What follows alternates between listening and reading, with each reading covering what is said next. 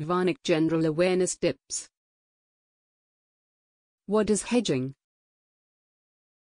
Hedging is the process of reducing investment risk or it is the investment taken out to limit the risk of loss of another investment.